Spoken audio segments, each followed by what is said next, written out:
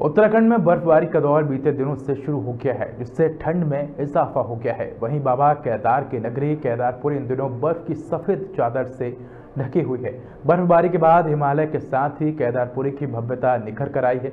बर्फबारी के बाद केदार नगरी में चल रहे द्वितीय चरण के निर्माण कार्य प्रभावित हो गए हैं, जबकि ठंड के चलते कार्य करने में लगे मौजूद जो मजदूर है, वो नीचे लौट हैं। आपको बता दें कि केदार नगरी का तापमान माइनस चौदह डिग्री तक पहुँच चुका है। यहाँ सब कुछ जमने लग गया है। अब केदारनाथ में सिर्फ़ कुछ साधु संत ही रह गए हैं।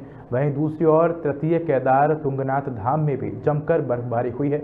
बर्फबारी का आनंद उठाने के लिए सैलानी भारी संख्या में यहाँ का रुख कर रहे हैं, जिससे पर्यटन व्यवसाय को भी लाभ मिल रहा है। दो दिनों तक केदारनाथ धाम में तीन फीट तक बर्फबारी गिर चुकी है और अब धाम में मौसम साफ़ है। मौसम साफ़ होने के बाद केदारनाथ धाम बर्फ़ में चांदी की तरह चमक रहा है। धाम में चारों ओर सिर्फ़ बर्फ़ ही बर्फ़ है।